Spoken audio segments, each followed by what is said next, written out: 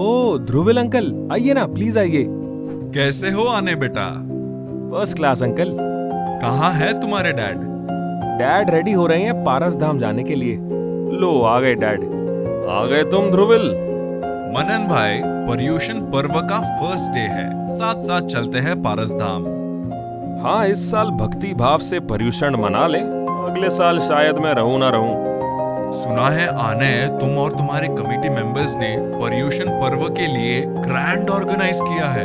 हाँ अंकल आपने और डैड ने कभी अपने जमाने में नहीं मनाए होंगे।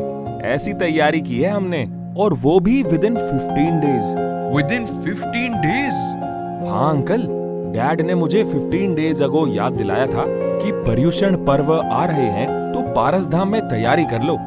और देखो मैं और मेरी कमेटी के सारे मेंबर्स ने मिलकर सब कुछ रेडी कर लिया। बताओ आने कैसा आयोजन किया है? नो अंकल यहाँ नहीं पारस धाम चलते हैं। आप अपनी आँखों से देख लेना सरप्राइज़ हो जाओगे।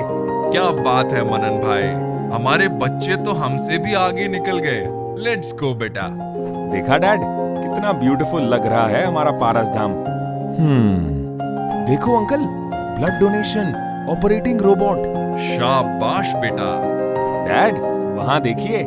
Grocery kit zone grocery donation in huge quantity और वहाँ पर live dal rice and live food distribution zone needy people के लिए।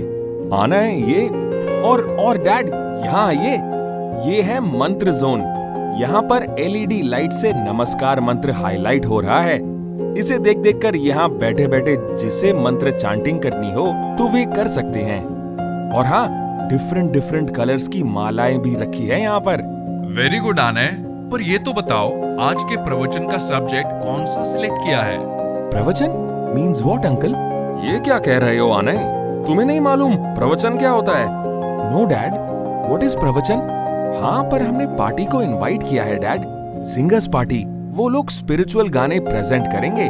आने शाम को प्रतीक। हाँ अंकल शाम को seven to nine soulful symphony है। सब लोग एंजॉय करेंगे। आना है बेटा ये सब तो ठीक है, पर पर्यूषण के प्रवचन का आयोजन नहीं किया, प्रतिक्रमण आराधना की कोई अरेंजमेंट नहीं की। तुम्हें इतना भी नहीं पता कि पर्यूषण में संत संतीजी को आमंत्रित करके उनका प्रवचन श्रवण किया जाता है। हर रोज प्रतिक्रमण की आराधना होती है। नो डैड जहाँ तक मुझे याद है, बचपन में आप हमेशा मुझे भक्ति संध्या में लेकर जाते थे, और मोस्टली तो आप मुझे अपने साथ पारस धाम की ऑफ़िस में बिठाया करते थे। आपने कभी मुझे प्रवचन में तो बिठाया ही नहीं। पर आने प्रतिक्रमण तो पर्यूषण में करना ही चाहिए। यस अंकल लास्ट डे पर संवत्सरी के दिन तो प्रतिक्रमण आराधना की अरेंजमेंट की है। डैड हमेशा लास्ट दिन का ही प्रतिक्रमण करते थे पर आने इतने पढ़े लिखे होकर भी तुम्हें इतना भी नहीं पता कि पर्यूषण में हम ग्रीन वेजिटेबल का त्याग करते हैं। फिर तुमने ये फ़ूड डिस्ट्रीब्यूशन जोन क्यों रखा?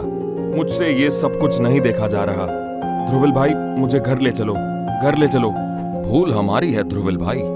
हमारे बच्चों की नहीं हमारे पापा ने पापा बनकर हमें धर्म के संसार दिए सेवा करनी सिखाई पर हम पापा न बनकर डैड बन गए और डैड बनकर हमारी परंपराओं को हमारे संस्कारों और धर्म को डेड कर दिया।